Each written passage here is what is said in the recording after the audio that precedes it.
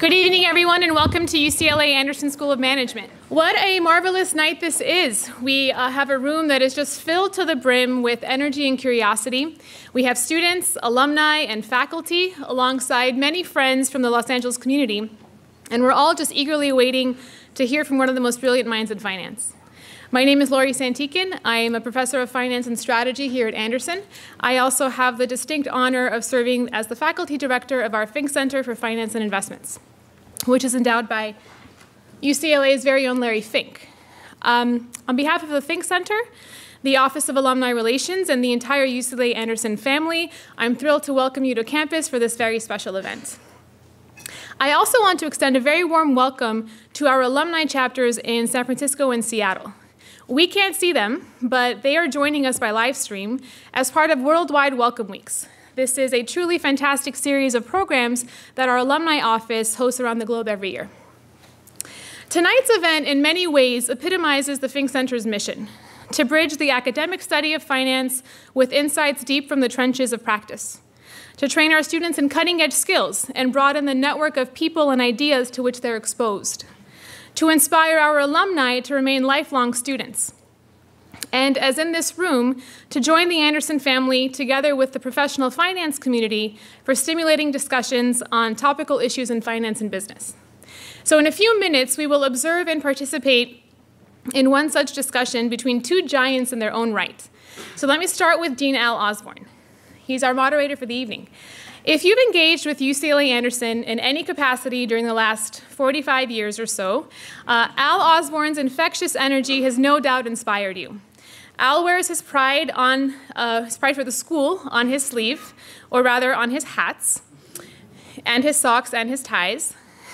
And these days he wears quite a few hats for the school. In addition to being a professor of global economics and management, He's the founding faculty director of the Price Center for Entrepreneurship and Innovation and has long served as Senior Associate Dean for External Affairs. Most recently, he became the interim dean of UCLA Anderson. He joined UCLA after earning four degrees from Stanford University, including a PhD in business economics and an MBA in finance. We are tremendously grateful for his service to the school and for joining us here tonight. Howard Marks is the reason this event has a waitlist.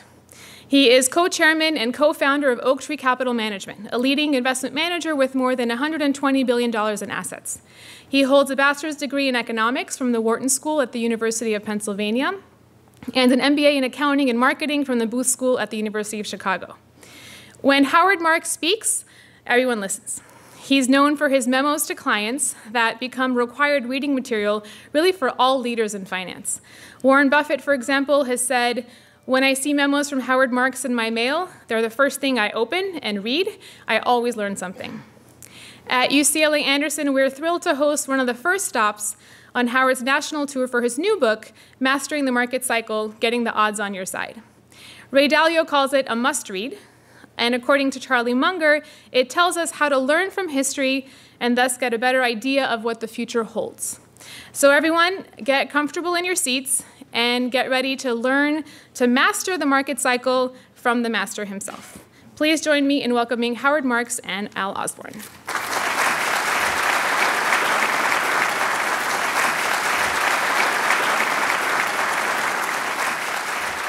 Well, Laurie, thank you for uh, those inspiring remarks. Um, I didn't quite believe that I've been around here that long, and now it becomes real. I think I've, I've, known you almost that long as well. So it seems. uh, thank you for being with us. My uh, pleasure. This Very evening. glad to be here. It, um, we've been privileged to have done this once before, right, right. and where the conversation was with the one and only Charlie Munger, right. Who has been a real part, I think, of sort of you, you developing perspective right. uh, in uh, your investments. There's a lot of things we could talk about. Uh, uh, uh, Howard, but I want to really just start with a couple of things that I think are fundamental to how you look at the world. And could you tell me a little bit about how you were able to think and synthesize uh, your perspective on markets and, and how they work? Well, I, I think, Al, it's extremely important to, uh, the word is synthesize, and you have to have something to synthesize, mm -hmm. which means that you have to have a large number of diverse inputs. And, uh, you know, it's, uh, it's not enough to have some exposure to some things. Uh, you, you should always worry about the things you haven't had exposure to. So I think that reading broadly mm-hmm. is extremely important. And then, of course, I think it's, it's, it's essential to exchange ideas with others. Uh, I happen not to like solitary uh, activities as much. And, uh, you know, if you, if you have some colleagues or peers that you respect and you exchange ideas, you probably, it's possible for, for both of you to learn. It can be a win-win. And, uh, of course, we, we all have ideas on what we think are, is, is going to happen and what we think we should do about it. It's great to have those ideas challenged and see if they can stand up uh, in, the, in the face of challenge. So exchanging ideas, I think, is, is uh, extremely important. Mm -hmm. and then, uh, you know, thinking broadly.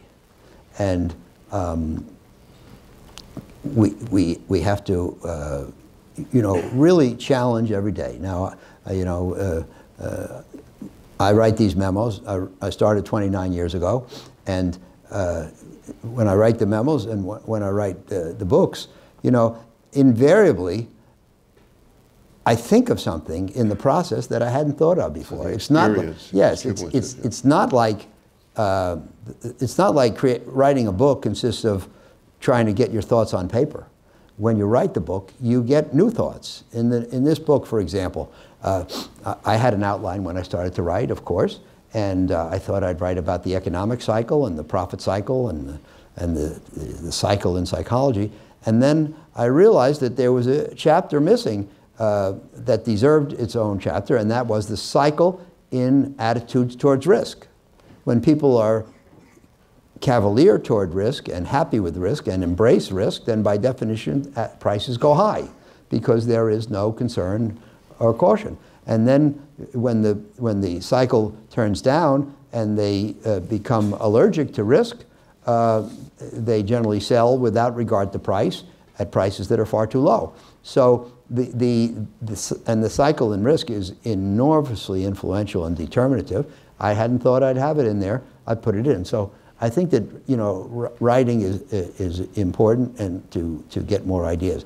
And then lastly, I would recommend strongly that you live a long time, and you and you, you and, and, you experience a lot of markets and a lot of cycles. Uh, and uh, because if if you don't experience it, then you have to only, you can only learn about it by reading or speaking with others. Mm -hmm. uh, it, there's nothing like experiencing it first time. Mm -hmm. And you know, one of the things I, I believe strongly is that experience is what you got when you didn't get what you wanted.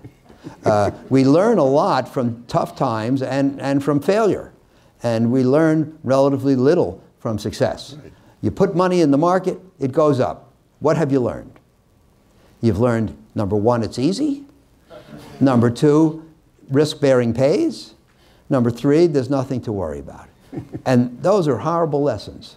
And, and uh, you, know, you, you learn much more uh, fr from, uh, from difficult times than from success. And I guess you sort of have to know what's knowable uh, in that context.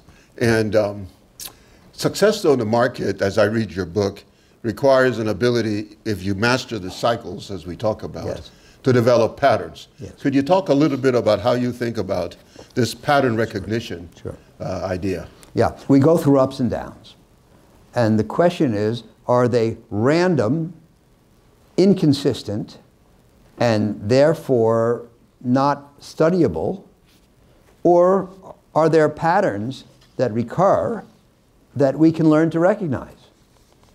And uh, uh, Laurie Oh, Laurie mentioned Ray Dalio. Uh, had some nice words for my book. Well, I have some nice words for his. He put out a book earlier this year called Principles, and he talks about how they work at Bridgewater. And he says that you know they've they've studied so long and they have so much experience and they've recorded so much experience that they look, they see something happen and they say, "Oh, that's one of those." And saying that's one of those is a hell of a lot easier mm -hmm. than saying, "I don't know." I, I have no idea what's going on. I've never seen one like this before. Uh, I have no idea what's going to happen next and, uh, and, and, and, what I should do about it. And so I think that if there are patterns, we should recognize them. If we try to impose patterns in an area where there are no patterns, then that's folly. But, but I think that in, in the uh, financial and the investment world, there are patterns. Uh, the, one of the main ideas that pervades the book is a quote attributed to Mark Twain. Uh, History does not repeat itself, but it does rhyme. and uh, in, in every cycle, compared to the last one, the amplitude of the fluctuations is different. The speed of the fluctuations is different. The duration of the cycle is different. The immediate causes are different, and the effects are different. And one of the things that happens a lot nowadays, especially since, you know, when I talk about the book, is people say to me, well, which cycle is this one like? And the answer is it has some similarities to 07 and some similarities to 82, and, and, uh, and, but, in, but there are also ways in which it's different. But it's very, very helpful to identify uh, similarities. And uh, you know, along the lines of Mark Twain, even though the details are different of every cycle. I conclude in the book that in every boom I've lived through, and I've probably lived through about a half a dozen booms in the market, um, there have been some common threads. There have been things that do rhyme, to use Twain's word. So every boom that I have seen has been characterized by too much optimism, too little risk aversion, and too much money in the hands of people who are too eager to spend it. And if you think about it, excess optimism, dearth of risk aversion, too much money is a very good formula for a bubble. You can easily see how those things would lead to a boom. And if you think about it for a minute, you can see how hard it would be for a boom to take place without them.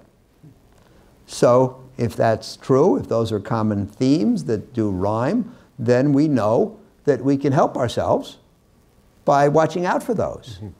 And when we see the, the three ingredients, we can do something about it. You know, um, in your book, when you talk about mastering the, the cycles, which is this ability to recognize patterns and know when they come back, which you develop over years of understanding, you did mention that it's important to know your positioning. Yeah. That is to have a good sense of sort of where you're at. Mm. Could you talk a little bit about how uh, you think about that? Sure. Well, first of all, what everybody wants to know is what's going to happen tomorrow. Market was down 800 yesterday, 550 today. What's going to happen tomorrow? What's going to happen over the next year, over the next three years? And the answer is nobody knows. And uh, I don't believe in forecasts. Another one of my heroes, uh, John Kenneth Galbraith, said we have two kinds of forecasters, the ones who don't know and the ones who don't know they don't know. And uh, I am firmly in the first camp. I don't know what's going to happen in the future. And uh, uh, what I say is we never know where we're going, but we sure as hell ought to know where we are. It may be challenging to predict the future. It shouldn't be that hard to predict the present. And if we can, if, if we can think in terms of a, a, normal trend line, perhaps, for the market, or a, a, a, level which represents fair value, and then the fact that the market oscillates around it, then clearly it's very important to know where in that oscillating pattern we are. Because if this is fair value, and we're here, then clearly the expected value, uh, the expected performance from here should be lower than the historic average. The historic average was compiled by buying at prices all along the cycle, but clearly if we're at the peak of a cycle, our prospective return is lower than historically it has been on average, and it's harder to make money than it historically has been, and easier to lose money. Whereas if we're buying here, when prices are depressed, then the expected value is higher than the historic average, and it's easier to make money and harder to lose. So it makes a profound difference, and I think it's extremely important that we figure it out. We don't know where we're going, but where we are has implications for where we're probably going eventually. Now, the word eventually is very important because if I tell you we're over, that the, that the market is high in its cycle and is overpriced, one of the most important things for you to realize is that overpriced and going down tomorrow are not synonymous. And so if you think about the market fluctuating this way around fair value, then when it goes above the line, it's overpriced. When it goes higher, it's more overpriced. Higher, more overpriced. And markets which are overpriced tend to become more overpriced before eventually they reach a top and turn down. So it, it's, it's a big mistake to think that overpriced and going down tomorrow are synonymous. You can, you can say that that's overpriced, you can sell it, and it goes up another 20%. You feel like an idiot, and, and you get fired by half your clients. Um, but that doesn't mean that it was wrong. And, and uh, it, it's, I'm straying a little bit from your question. No, but, that's okay. I'll, I'll, bring it back to okay. a couple of things. But, but you know, all you can do in this world is do what's right. You can't necessarily do what's going to work tomorrow.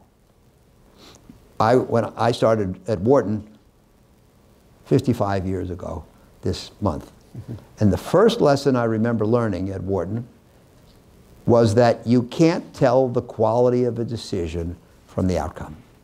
Now, this is a counterintuitive and, in fact, perplexing. And most people who, who are not analytical or insightful would say, well, of course you can. Good decisions work, bad decisions fail. But the truth of the matter is that in the world, there are a lot of things that are unpredictable and random and as a result,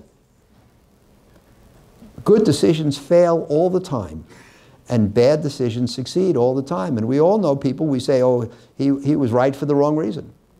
Mm -hmm. Or he was lucky. Or he was unlucky. Mm -hmm. And, and so you, you, you, can't, you can't think of the world as a place where good decision, good outcome.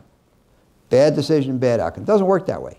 You know, Richard Feynman, the physicist, said that physics would be much harder if electrons had feelings.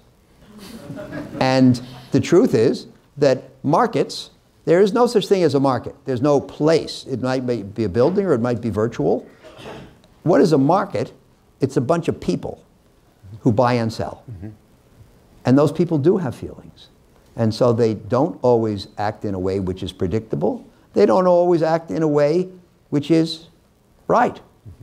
Sometimes they do things which are counterintuitive.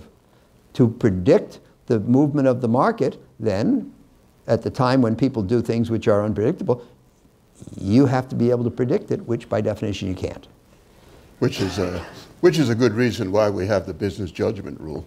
Yes. Imagine putting these That's people right. together. Uh, so the process and kind of how you came about it is really speaks to the quality, but the outcome you could be wrong because of a whole bunch of other things. Sure. uh, we see it all the time here. Well, if I can take one more minute, the, uh, the next to last, I will. Yes. The next to last, par- the next to last paragraph in the book quotes from Peter Bernstein, who yes. was a great uh, market observer and sage. And he said, um, the future is not ours to know, but it helps to know that being wrong is inevitable and normal not some terrible tragedy, not some awful failing in reasoning, not even bad luck in most instances. Being wrong comes with the franchise of an activity whose outcome depends on an unknown future. Now, you know, imagine if you were a baseball player. You have five trips to the plate and you make out on three of them and you kill yourself. The point is that very few you know, uh, uh, Ted Williams got two hits on every five trips, and he was the best in history. Nobody gets sick three out of five or four out of five, and it's the same in investing. None of us get it right all the time. All we can do is have a better batting average mm -hmm. than others. If you have a better batting average, then you'll be a superior investor. Well, in baseball, if you bat uh, 333, it's Hall of Fame. You're exactly. So uh, maybe right. the investors out there ought to think about you lose seven, don't, don't worry about it because yeah. you'll win three, right? uh, you, you, you, prompted me to think a little bit about your notion of being aggressive or defensive mm. uh, in different kinds of market situations. You, you talk about that as something you, right. that, that, that governs a lot of how. Could you explain a little bit? Well, I? I really think that the most important single decision for what I call the medium term in investing is whether it to be more aggressive or more defensive at a point in time. Now, I'm not talking about the short term, like the next day, week, or month. And I'm not talking about the long term, like 30 years, when you can ignore the interim fluctuations. I'm talking about two, three, five years. If you're positioning your portfolio today for the next three years, I think the most important question is whether it should be an aggressive portfolio or a defensive portfolio. And it's not stocks versus bonds, high quality versus low quality, growth stocks versus value stocks, US stocks versus foreign stocks, uh, uh, developed world stocks versus emerging stocks, large companies versus small. The most important question is offense or defense. If you have an aggressive portfolio in a period when defense was called for, you'll get chewed up.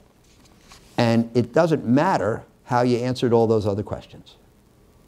And if you have a, an, an, an aggressive portfolio at a time when it turns out that aggressiveness was propitious, it- doesn't matter how you answer those questions either. You'll be successful. So I really believe that that's the key. Let me t- talk about it in another direction now. I believe that every investor, myself included, every day faces two risks. I call them the twin risks. What are they? The first one is obvious it's the risk of losing money. The second one is a little more subtle it's the risk of missing opportunities. And we have to confront these every day. Now, if you say to me, I want to be absolutely sure that I don't lose any money, then I'll say, okay, we'll put you all in T bills. You can't lose any money, but you miss every opportunity. If you say, I want to be 100% sure I don't miss any of the opportunities, then I say, okay, no T bills for you. We'll put you all in risk assets, and you will be 100% exposed to the risk of losing money. So you can eliminate one, but it puts you firmly in the crosshairs of the other, or you can compromise on the two.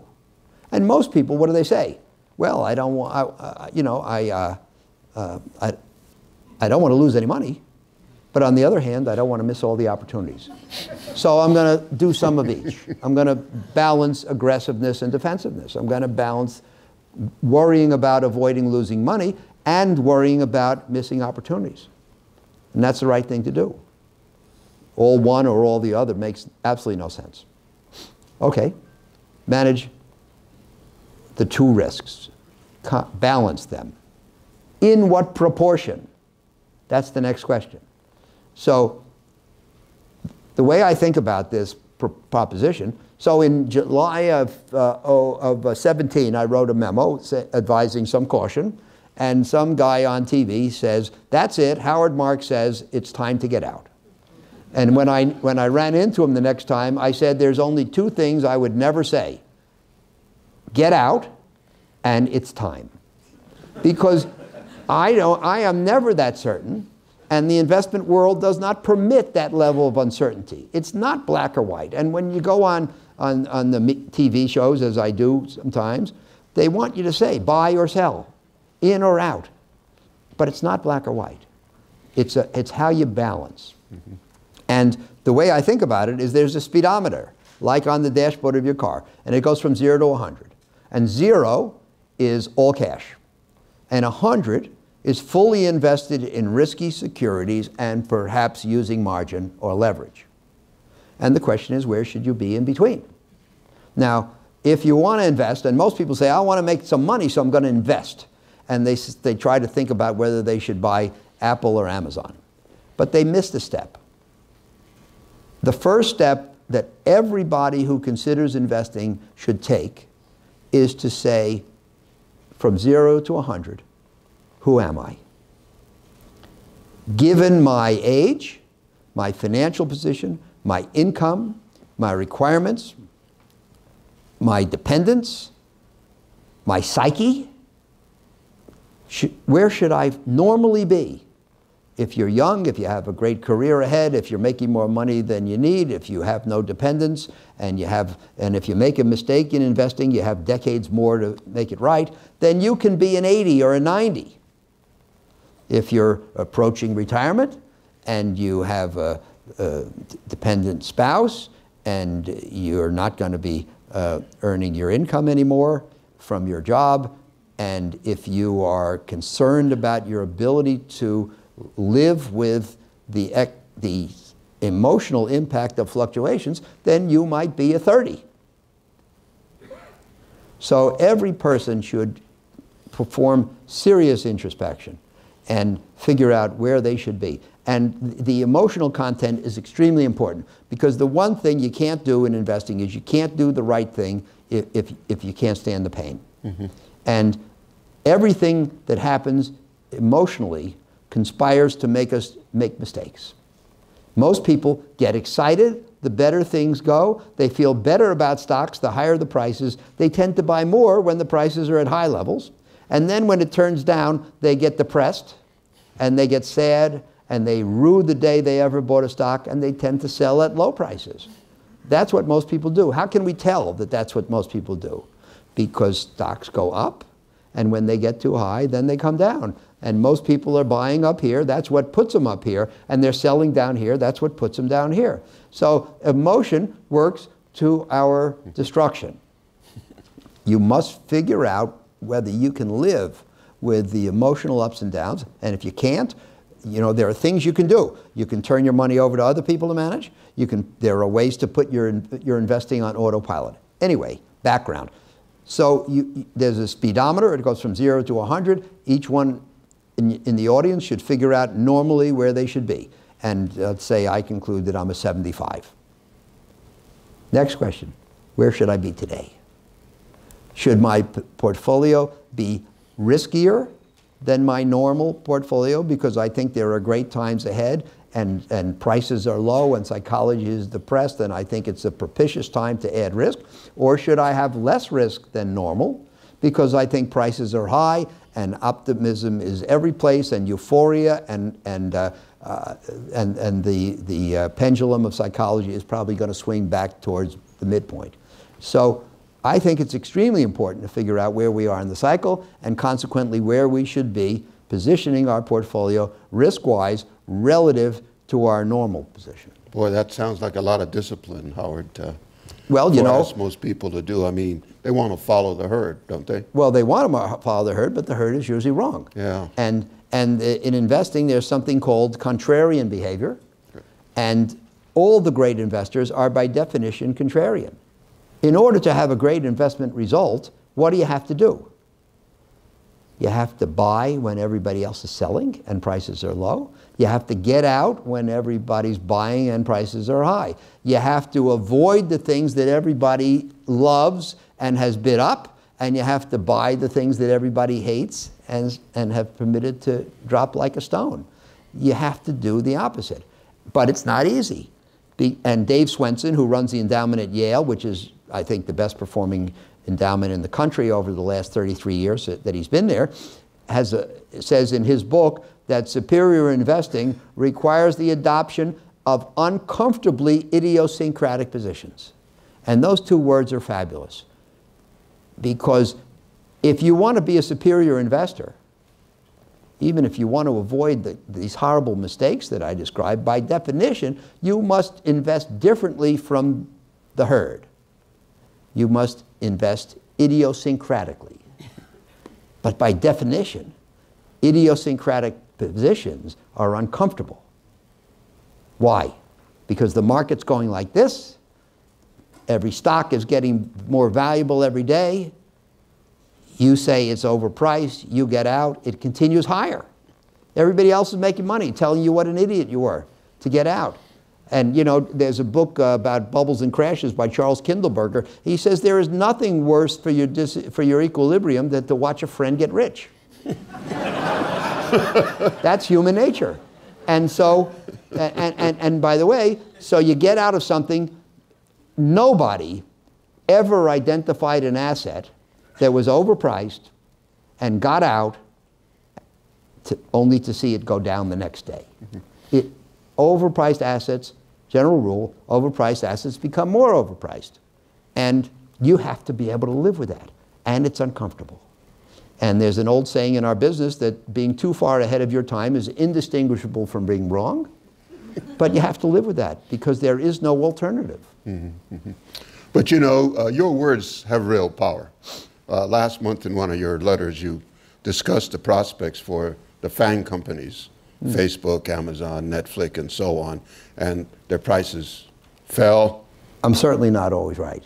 Okay. And, and uh, you know, uh, I try my best, and some people emulate, and, and uh, I wouldn't recommend it. Okay, I mean, the FANGs have gone up and up and up. Yeah, and, I mean, look right. at the multiples but that you know, have. And you know, I wasn't in that memo, Al. Yeah. I wasn't saying that the fangs are a bad idea. Okay. What I was saying is that the performance of the fangs, the levitation of the fangs, indicates to me. I had a, a whole list of things in that memo. The, the memo was came out two weeks ago.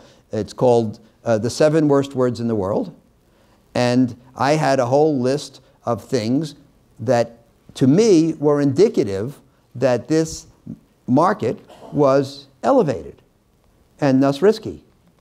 And the belief in the fangs and the willingness to pay an extremely high and ever rising price for a company that it makes no money. It's not a mistake. It's not right. It's not wrong. Mm-hmm. But clearly, it is indicative of the presence of optimism. And I want to know when optimism in the market is riding high. I, and all things being equal, I want to cut my risk posture.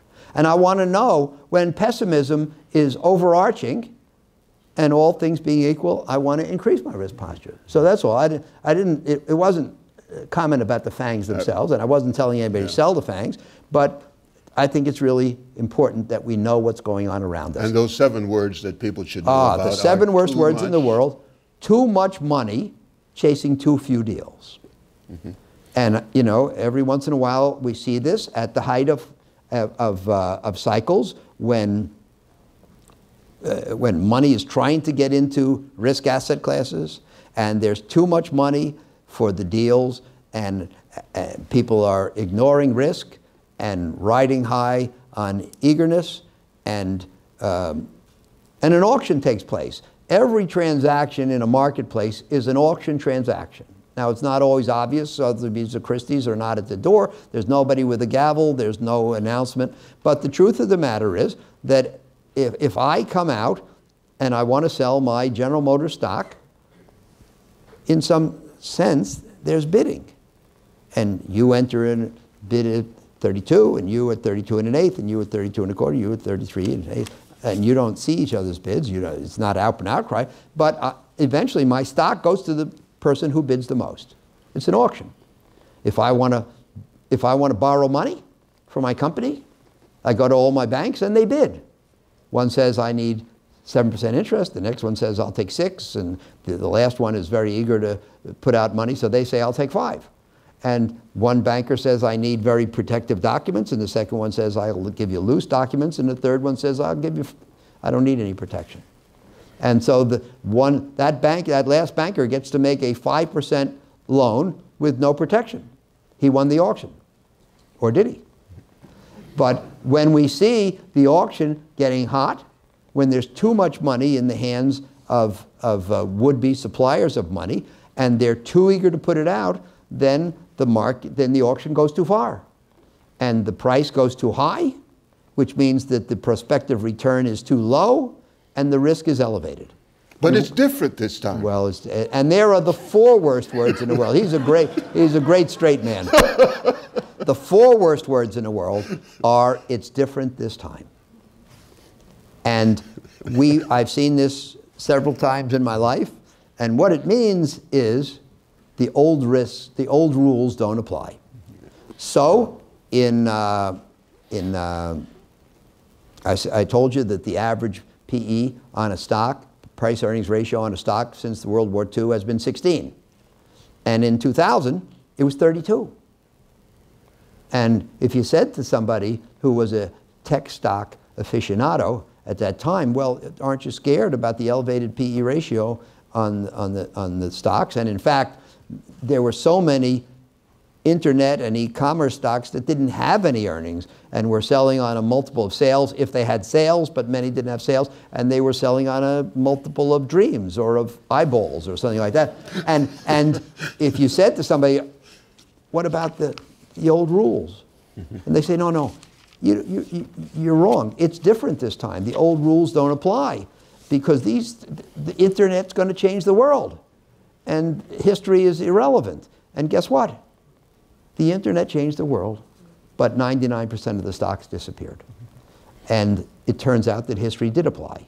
So when you hear somebody say, this time it's different, hold on to your wallet. Well, you know, I remember when many analysts were creating different measures of EBITDA mm, and mm. calling them all kinds of yeah. things. Yeah, well, uh, now. As an effort to justify yeah. Yeah. the elevated PEs. But. Well, th this is, this, is, uh, this is one of the things that going, that's going on now. So, um, you know, there are norms. I'm, I do not want to get Al started, but we, there are people who don't believe that we have to hew to the norms, the traditional norms, right? But the, there are norms. And one of the norms, for example, is maybe when, when one company buys each other, another company, they should only use, they should only use uh, six times EBITDA for the, for the amount of debt. So if a company makes uh, $20 million, you might be willing to, to, to use $120 million worth of borrowed money to buy it, and any excess of that over in the price should be in the form of equity, which, which is safer. And in this memo, uh, seven worst words in the world, I talk about the fact that I, I detect that that's the condition today. So I went out to my Oaktree uh, colleagues and I said, give me nominees for dumb deals. Because when dumb deals can get done easily, that's indicative of the fact that the world is a buoyant, euphoric place, and that's dangerous. And so, you know, they sent me things where, well, here's a company that just issued debt and they issued, the, the debt is seven and a half times EBITDA, but it's now seven and a half times something called adjusted EBITDA. And adjusted EBITDA is the money they would have made if things would have been different. or and or, the theoretical multiple analysis, which adds back marketing expenses exactly. when you don't have to pay them. exactly. So, so, for example, what you say is, well, this company made $20 million, and this company made $20 million. But if you put it together, they're, together they're going to make $60 million because of economies. So you have adjusted EBITDA, and, and there, there were, I gave the example of companies whose adjusted EBITDA was 150 and 200% of their reported EBITDA. But in a buoyant, risk-tolerant, unconcerned market, people will ignore the old norms and, and, and lend against dreams. And the whole point of the book is that when that's the case, you want to know it and act accordingly. And that's really very good. I, I could go on all evening with you, Howard, as you know. Uh, and I want to get to some questions, but I believe that here we are at the Anderson School. You were in Chicago at a very important time mm -hmm. in mm-hmm. financial mm -hmm. history. Yeah. Uh, when uh, Fama, Fisher, Jensen, and Roll were there. And uh, you may want to make a comment about that. Uh, sure. I got about two or three minutes before I get the hook. Okay. And I know you're a great philanthropist. Uh, you're very important in, in doing a bunch of things, not only for the schools where you went to, uh, but the city of New York. Sure. And so maybe take a minute to talk to each of those if sure. you can. Well, uh, um, you know, look, Cicero, the philosopher, said that the thankful heart is not only the greatest of all the virtues, but it is the parent of all the other virtues. And I think you, we all have a lot to be thankful for, and, and if we're not thankful for it, then we're really stupid. Mm -hmm. And, um, and I have been incredibly lucky in my life. And one of the ways I was lucky, one of the minor ways I was lucky, was getting to University of Chicago in 1967. And the people that Al uh, mentioned, who were the, the really the pillars of finance theory, mm -hmm. had developed the main theory at Chicago in 62, 3, 4. So that means when I got there in 67, I was in, the, in the, one of the very first classes to learn that stuff. And that was good luck, and I appreciate that. And among other things, that has caused me to want to get back to Chicago. And so, you know, uh, I, I've given them some contribution, endowed some, some uh, uh, uh fellowships, fellowships for, and, uh, uh, and, and primarily directed at students from California. Uh, but, uh, you know, um, I, I think that our lives are less than they should be if we are not appreciative of our good fortune. Because we should, I mean, and I wrote this memo back in January 14 called Getting Lucky. And I talked about how lucky I've been. And I say in there that, you know, I could, I could take the approach that, no, no, I haven't been lucky. It's been all my skill and my hard work. And, um, and because, you know, some people might feel that if they attribute some of their success to luck, that they've been diminished.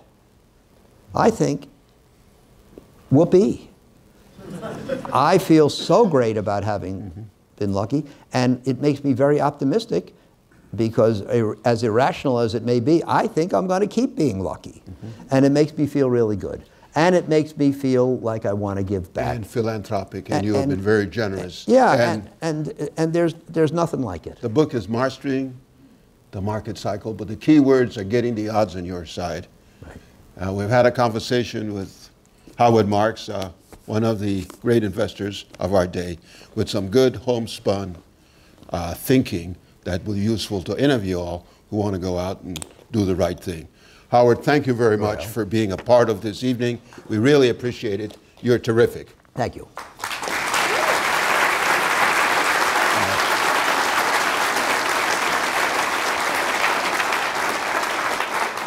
Uh, now we want to open this up to some questions. Okay, we see some, some movement. Uh, little cycle here. I'll start it.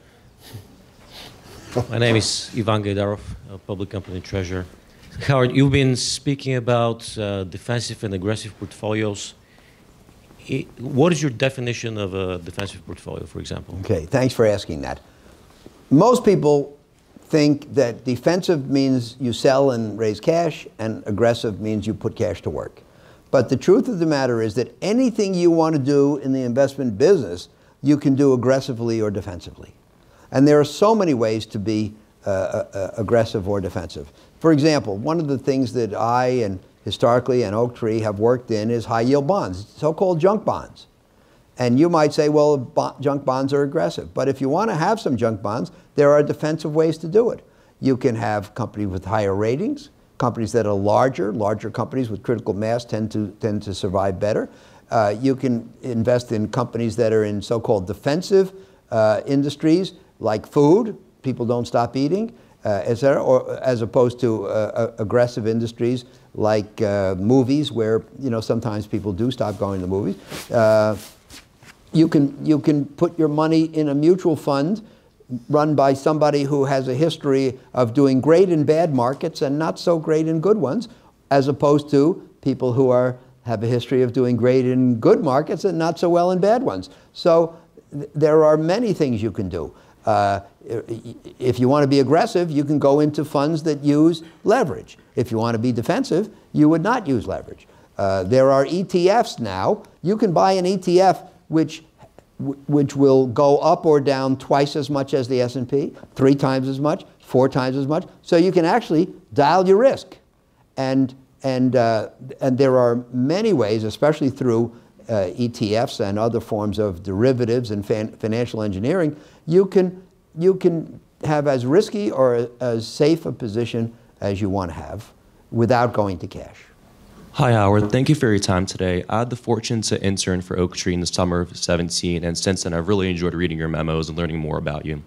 I was wondering, what do you think about the current rising interest rate environment and how it bodes for the bond management industry, specifically here in Southern California? Sure. The most important thing to know about interest rates is for the last 10 years, they have been unnaturally low. And, you know, when, when the central bank lowers interest rates, it tends to stimulate the economy. More people can afford a mortgage and buy a house. More people can afford a car. Manufacturers can borrow money and put up factories. And in every way, low interest rates are stimulative. And the central banks of the world cut interest rates essentially to zero, sometimes negative, uh, uh, 10 years ago, in order to pull the world out of the global financial crisis. Now, the, the central banks outside the U.S. did it later than the U.S. That's one of the reasons why we've had a much better recovery here than they have. But anyway, uh, the point is, so the first point is interest rates have been unnaturally low.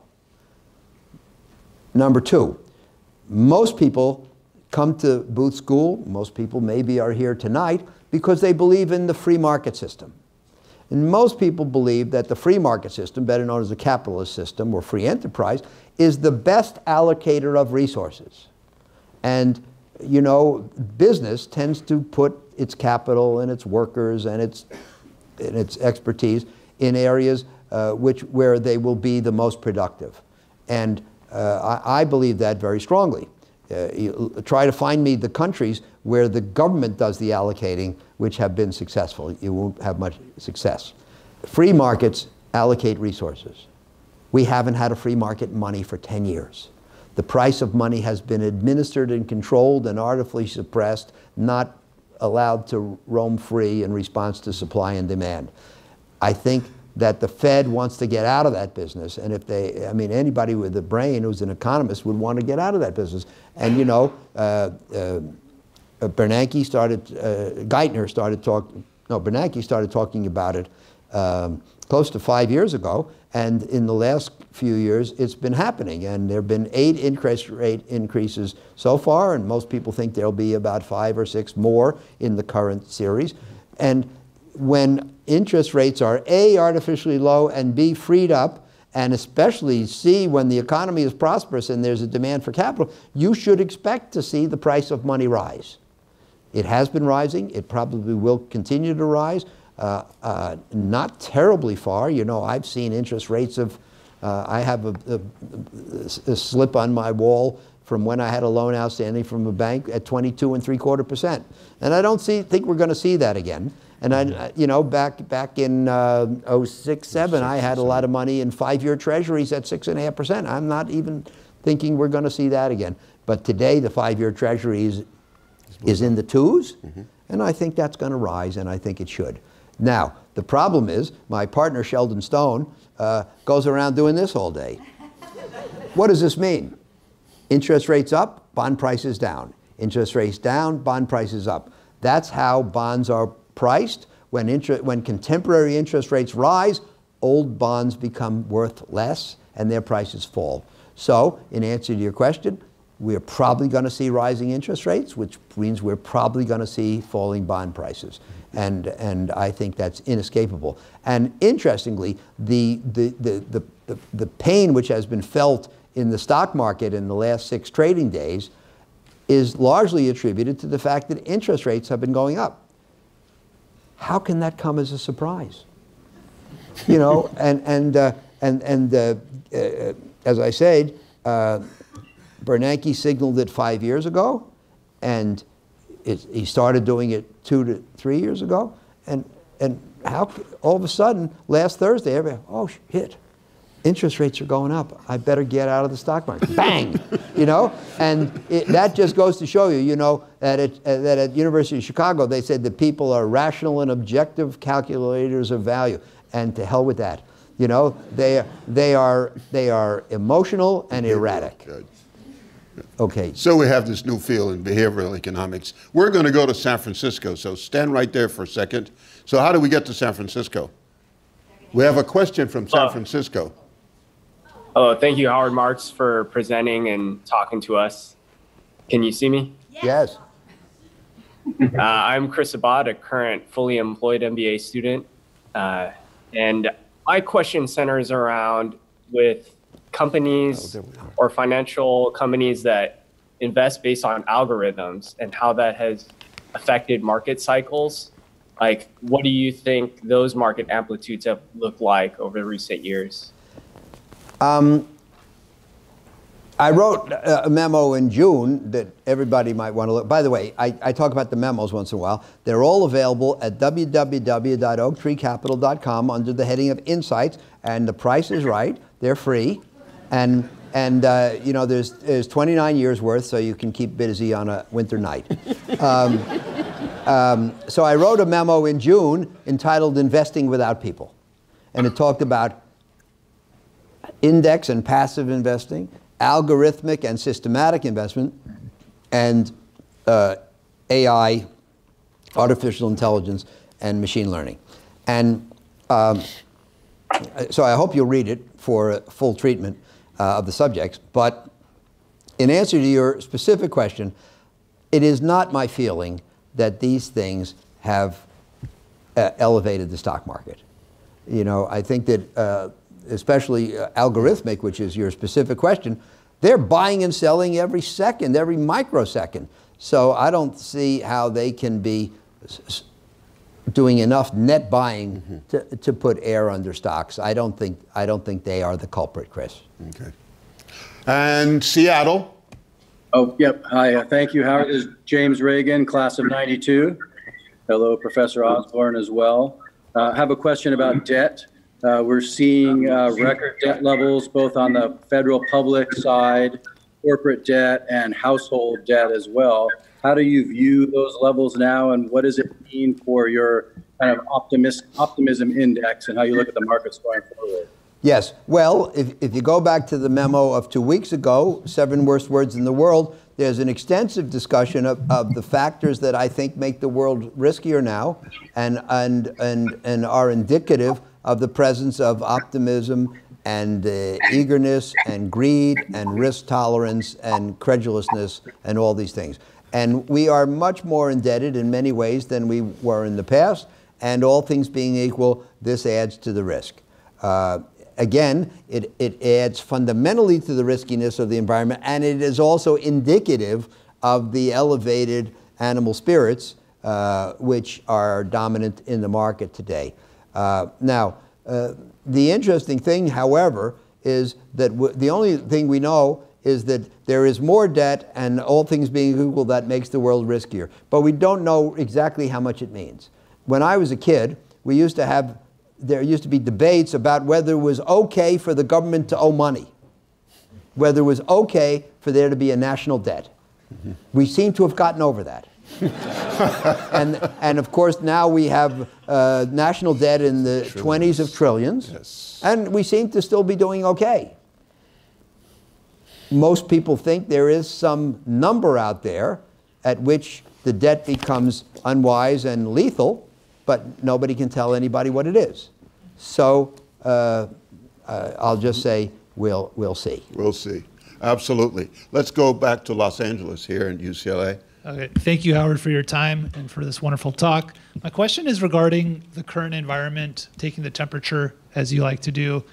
Um, just seeing what's going on where you see like SoftBank and venture capital mm. raising an enormous amount of money, um, seeing the cryptocurrency uh, phenomenon and seeing similarities to the dot com um, seeing private equity raise enormous amounts of money. Right. My question is, all of these signs and with the current valuation of equities, the market cycle, you know, maybe when it when it turns, will they all link up and will it be a big washout where hedge funds, private equity start withdrawing, venture capital starts disposing, Manhattan real estate starts tipping? How do we know if the cycles will be singular you know, linking together? I know that's a hard question, um, but just, you know, just the other day, hearing a venture capitalist mention that it's just all one big Ponzi scheme in mm. venture capital. Uh, this was social capital's uh, head. Um, how do you kind of link up the different market cycles with, yeah. with all of what's going on? Well, again, I would refer you to the seven worst words in the world. Right. and, and no, I mean, uh, to the memo which, which came out two weeks ago on the 26th, September 26th. Mm-hmm. And I touch on all those things there SoftBank, venture capital, private equity, real estate, it's all there. Like with Al's question about the FANGs, uh, look, the point is in the 90s, very successful venture capital funds raised 100 or 200 million dollars. And in, I think, fiscal 99 or fiscal 2000, they had a triple digit rate of return. And of course, that makes everybody in heat to put money into venture capital. And in 2000, those firms raised 1 billion or 2 billion. Those funds were singularly unsuccessful. Too much capital. Too much money chasing too few deals. Now SoftBank, Japanese firm, is or has organized most of a hundred billion dollar fund to invest in technology, not necessarily at the venture level, but at all, at all stages of development.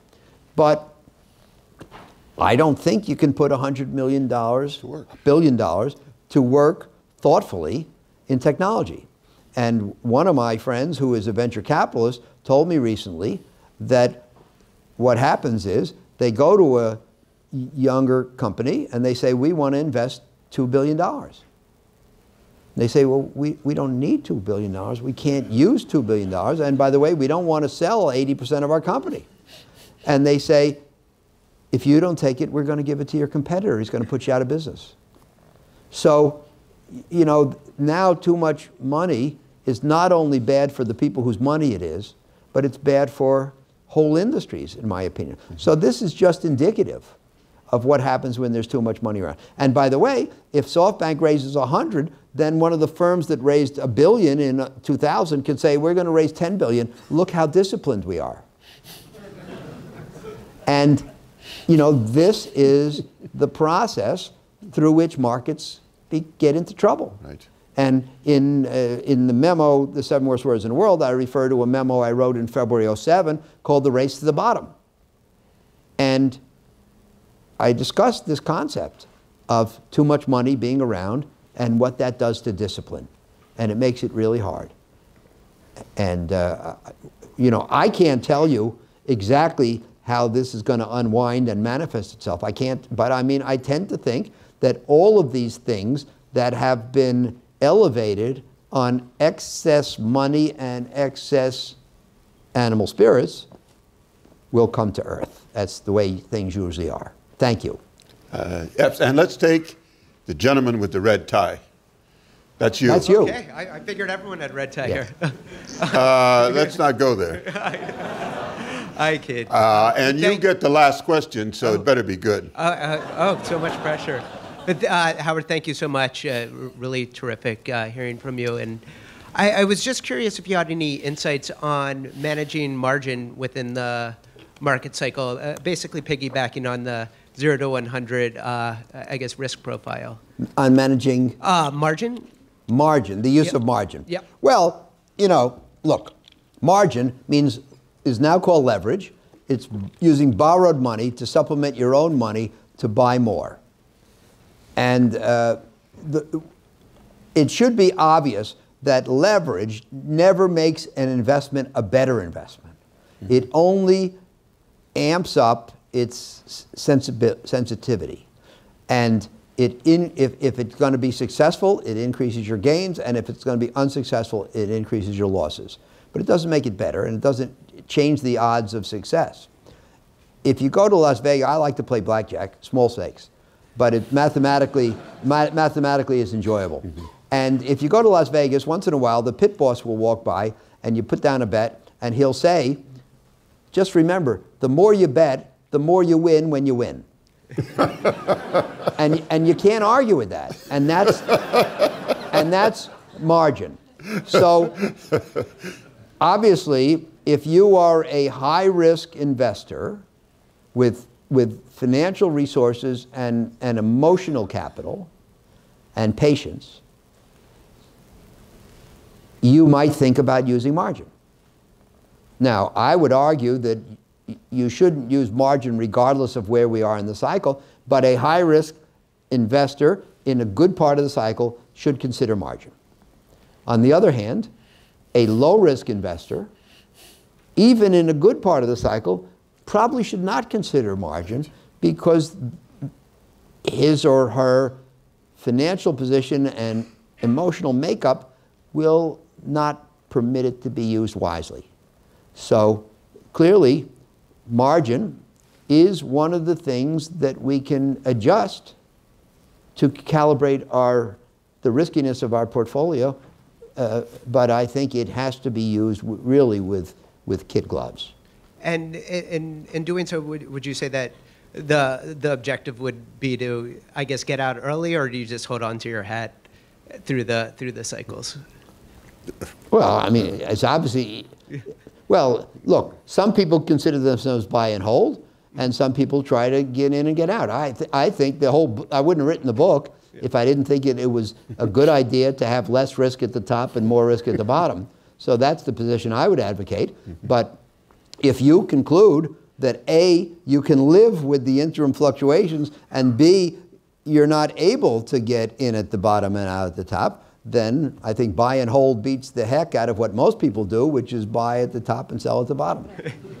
Thank you very much. Thank you so much. I'm Jill Baldoff, class of 81, Associate Dean Alumni Relations, and I want to thank all of you for coming out to share in this really wonderful partnership between the Fink Center and Alumni Relations for Worldwide Welcome Week. We're especially happy to be thinking in the next and welcoming our San Francisco and Seattle chapters. We have a lovely reception set up in the Marion Anderson courtyard for all of you tonight. To reach it, simply head down any staircase and step outside. There, there will be a table set up where Howard will be signing a few books for those of you who, who purchase books. And if you haven't purchased a book yet, you can also do that outside in the Marion Anderson courtyard. So thank you again for coming. Go Bruins, go Anderson.